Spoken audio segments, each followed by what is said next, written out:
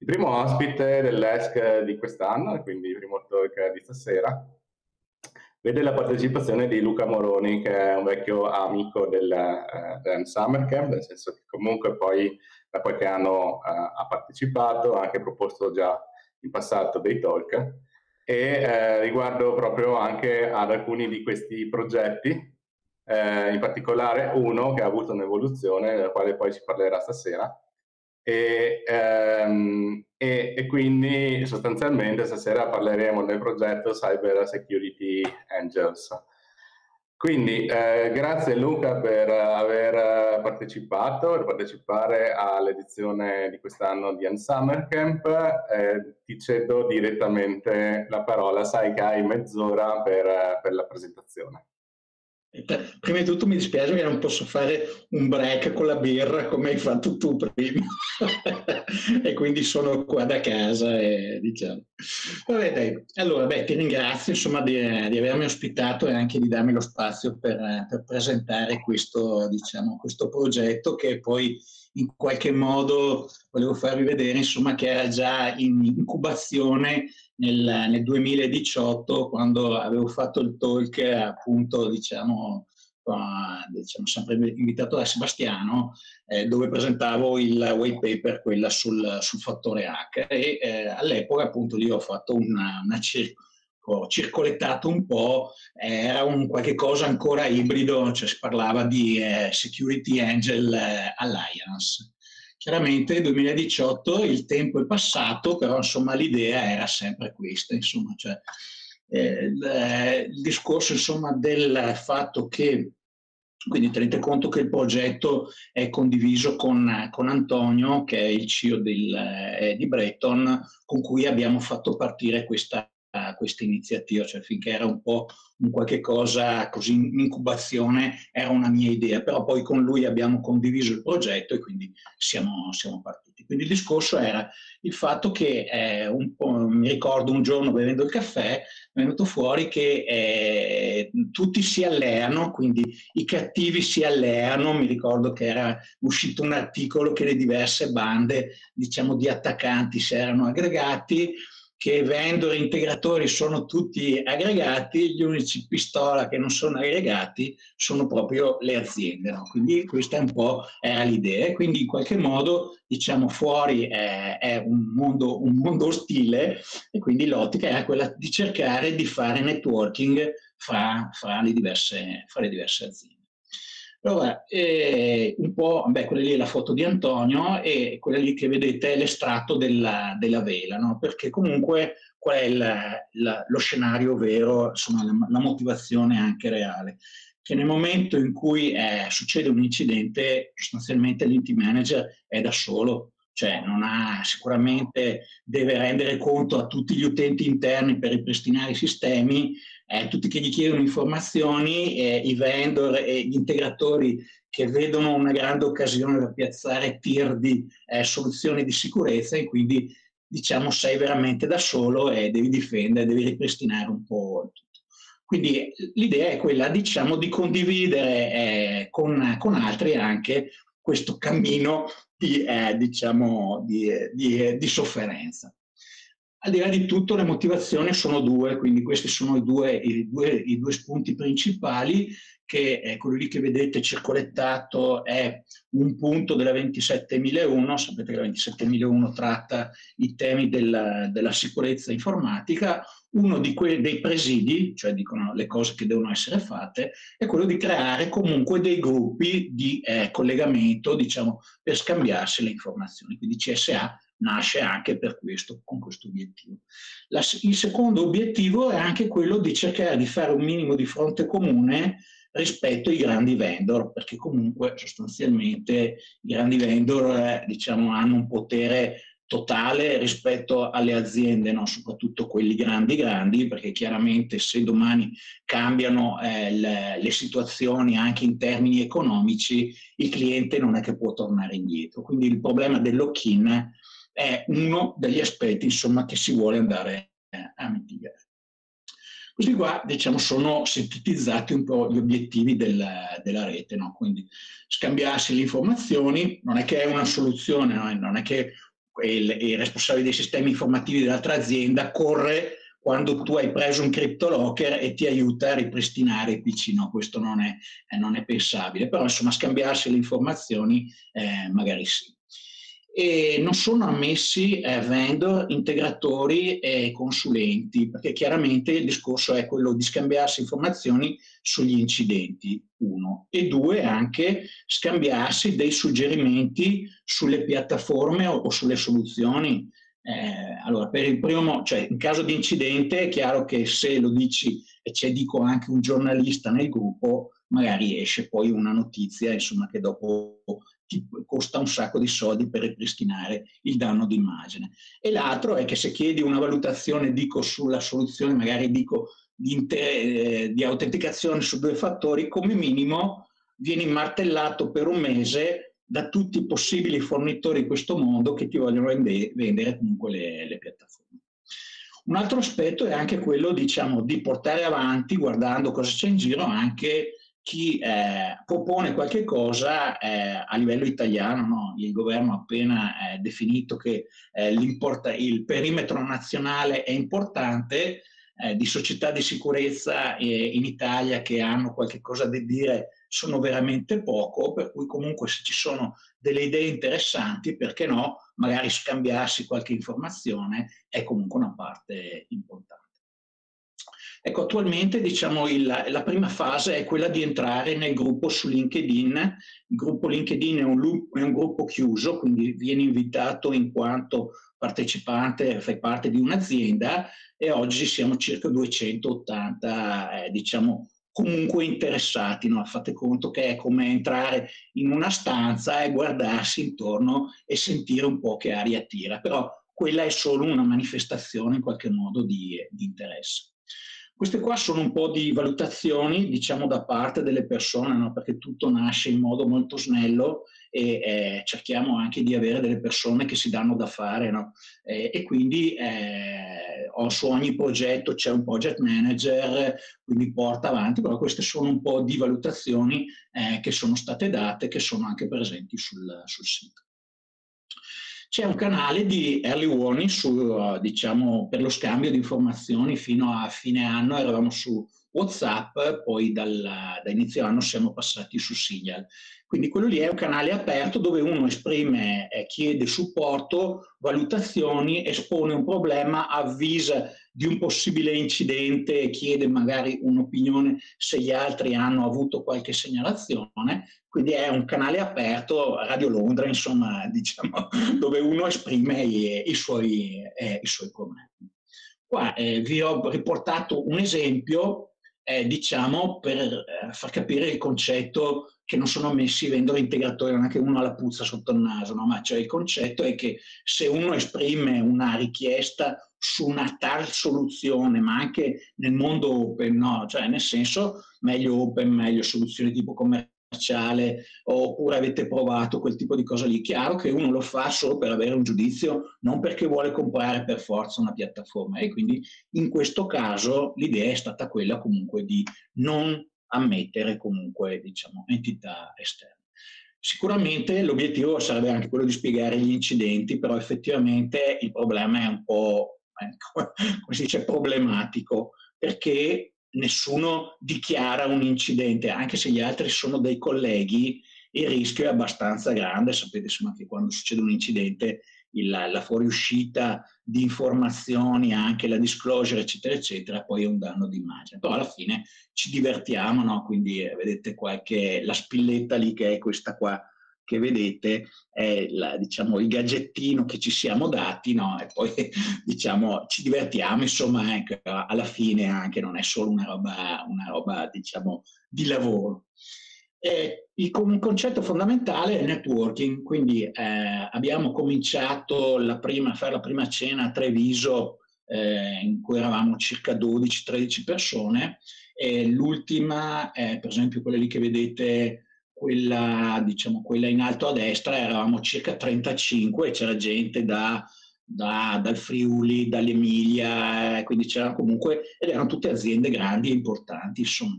La formula quando ci troviamo, cioè perché è importante fare networking per noi, è diciamo parlarsi, perché non è solo eh, remoto, è come bere una birra, eh, diciamo, eh, quindi ci si, spa, si, eh, si chiacchiera, facciamo magari del, un briefing e poi eh, mangiamo. Insomma, l'ultima, l'ultima, cena che abbiamo fatto a luglio eravamo a Villa 40 um, sulla, a, a Verona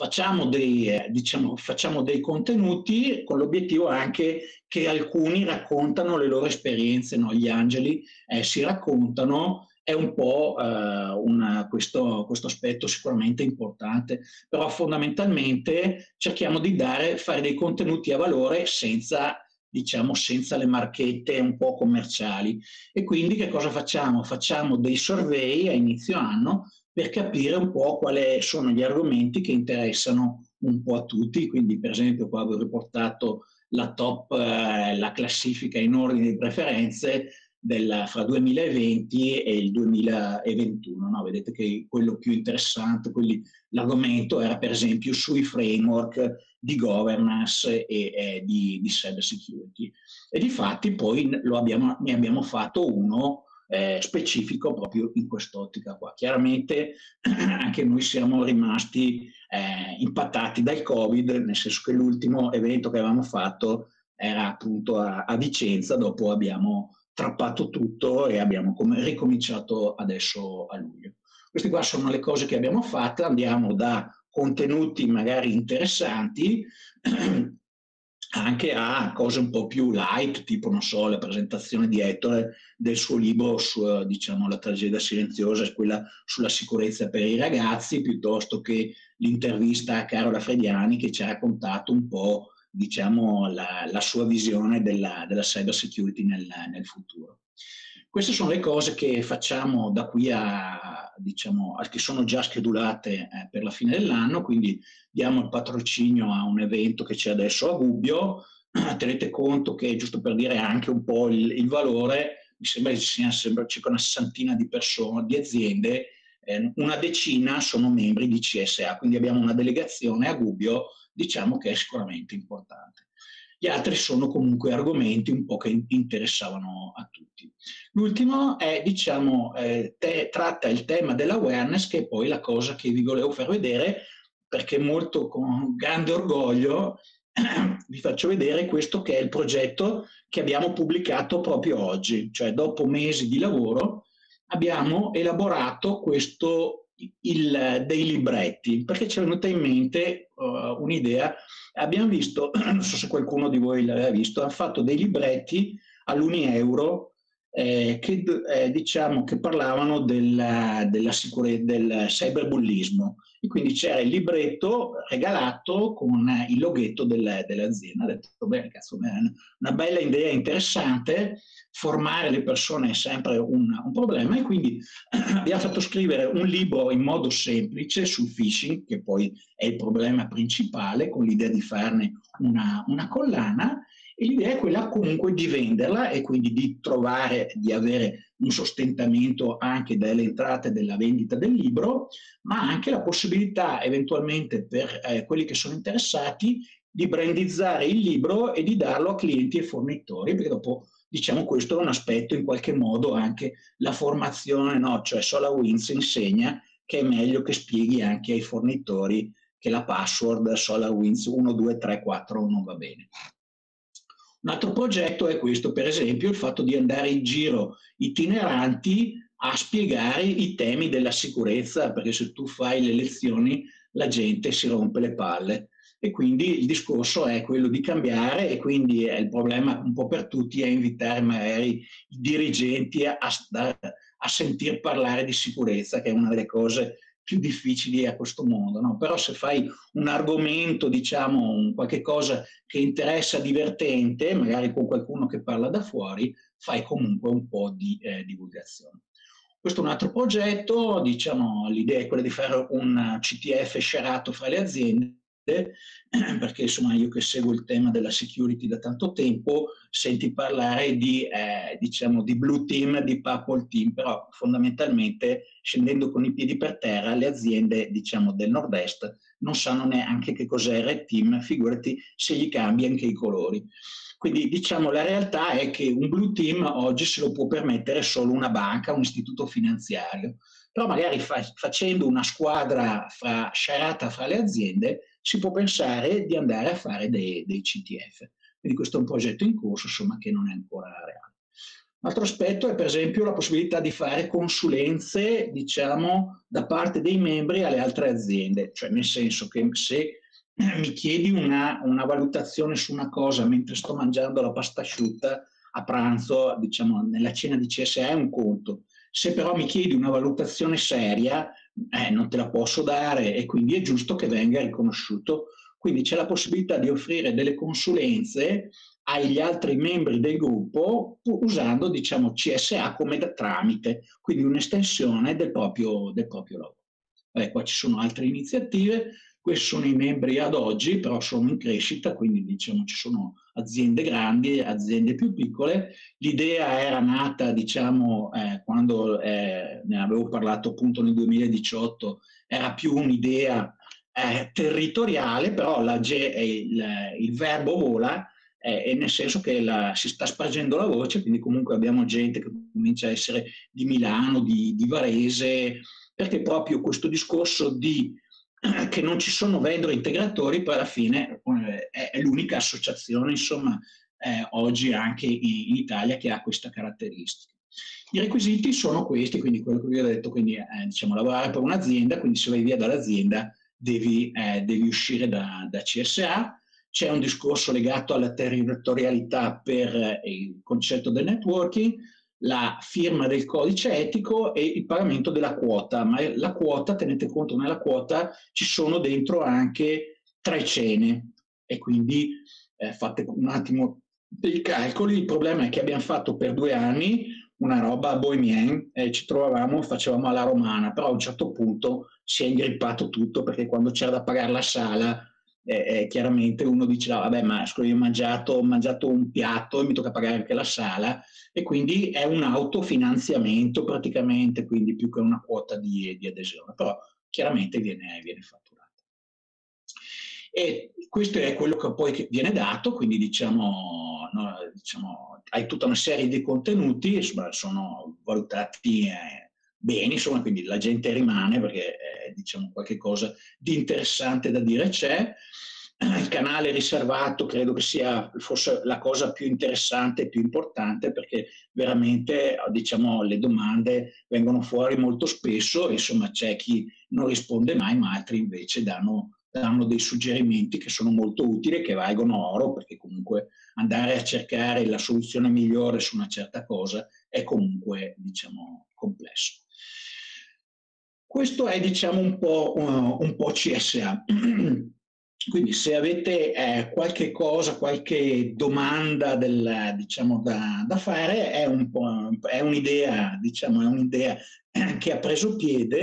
Eh, nel 2018 era una roba assolutamente evanescente, oggi è un qualche cosa di, eh, di concreto e chiaramente appunto il progetto, normalmente a volte parla anche Antonio, anzi molto più spesso perché è molto più bravo di me, diciamo come showman,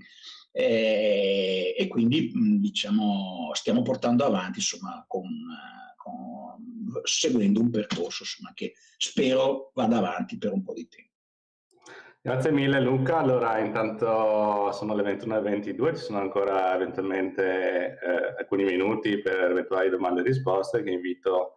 eh, eventualmente chi avesse eh, a farle tramite il canale chat sia di Twitch che Ehm, che in sala, sempre rivolgetevi a, a, Maurizio che è lì in sala.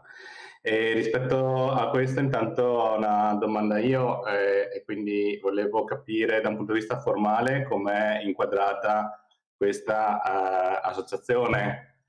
Um, sì, Allora, diciamo, l'associazione è per, proprio per evitare, tenete conto che in qualche modo io sono anche fondatore di altre associazioni, anche So Club del Friuli, insomma, quindi altre, altre associazioni, eh, per evitare costi inutili, quindi creare una ragione sociale ad hoc, attualmente è agganciata alla, all'azienda, insomma, eh, quindi sostanzialmente questa è la formula, però è vive, rimane separata. Poi se la cosa prende piede probabilmente creeremo una ragione sociale ad hoc, però per evitare di avere dei costi di comunque di gestione della no profit attualmente è tutto snello, anche perché non abbiamo grandi, grandi eh, risorse, nel senso che eh, Antonio fa i responsabili dei sistemi della Breton, io ho altre robe da fare e quindi ci ricaviamo del tempo per fare queste iniziative, però è un progetto laterale, non è certo la vita, insomma, quindi